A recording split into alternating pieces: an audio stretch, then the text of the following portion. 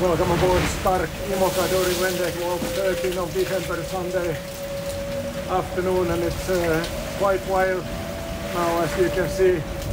Pretty stressful, terrible noise all the time. Water flying all over the boat and feels a bit scary also. Just hope that boat holds on and uh, we'll take it. Uh, it's gonna last uh,